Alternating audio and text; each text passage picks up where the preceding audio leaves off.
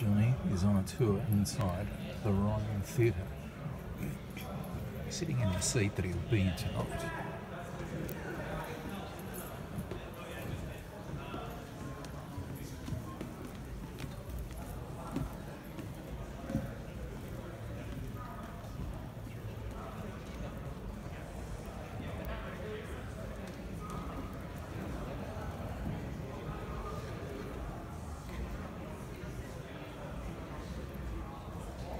So he's going to have a good view of the show tonight.